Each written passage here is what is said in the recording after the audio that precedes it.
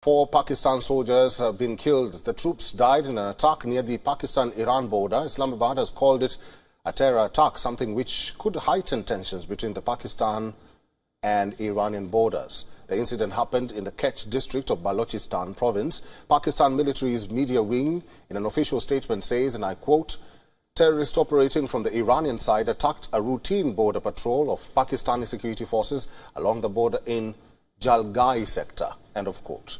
The Pakistan military says that necessary contact to the Iranian side was being made for action against the attackers. Interior Minister Rana Sanaullah condemned the attack and paid tribute to those killed. He tweeted that the nation is united in the war against terrorism.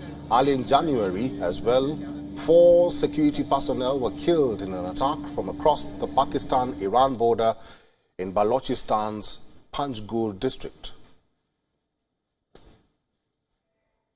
WION is now available in your country. Download the app now and get all the news on the move.